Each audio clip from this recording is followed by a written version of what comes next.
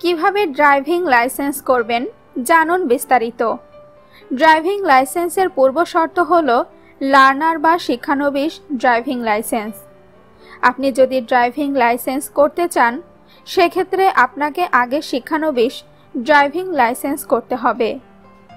ঢাকায় Bangladesh road transport authority Mirpur Dhaka metro এক দুই তিন সার্কেল রয়েছে। এছাড়া প্রত্যেকটি বিভাগের জেলা থেকেও আপনি করতে পারবেন। যেভাবে আবেদন করবেন।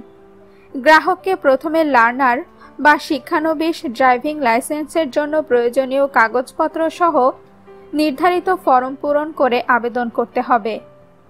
গ্রাহককে তার স্থায়ী ঠিকানা বা বর্তমান ঠিকানা বিআরটি এর যে সার্কেলের আওতাভুক্ত তাকে সেই সার্কেল অফিসে আবেদন করতে হবে। একজন রেজিস্টার্ড ডাক্তারের মাধ্যমে মেডিকেল সার্টিফিকেট জমা দিতে হবে। পেশাদার ড্রাইভিং লাইসেন্সের জন্য বয়স ন্যূনতম ২০ বছর এবং অপেশাদারের জন্য ন্যূনতম আঠারো বছর হতে হবে। যেসব কাগজপত্র লাগবে, এক, বিআরটিএ কর্তৃক অনুমোদিত ব্যাংক শাখায় টাকা জমার রসিদ, দুই ন্যাশনাল আইডি কার্ড অথবা জন্ম সনদ অথবা পাসপোর্ট এর সত্যায়িত কপি। তিন, স্থায়ী অথবা অস্থায়ী ঠিকানার প্রমাণস্বরূপ বিদ্যুৎ বিলের ফটোকপি। চার, তিন কপি রঙিন স্ট্যাম্প সাইজের ছবি ও এক কপি পাসপোর্ট সাইজের ছবি সংযুক্ত করতে হবে। ফি কত লাগবে? ক, এক ক্যাটাগরি তিনশো পঁয়তাল্লিশ টাকা। শুধুমাত্র মোটরসাইকেল অথবা শুধু হালকা মোটরযান অর্থাৎ যে কোনো এক ধরনের মোটরযান খ, দুই ক্যাটাগরি, পাঁচশো আঠারো টাকা।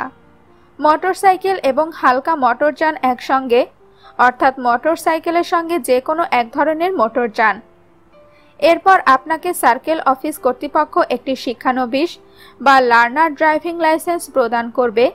যা দিয়ে আবেদনকারী ড্রাইভিং প্রশিক্ষণ গ্রহণ করতে পারবেন।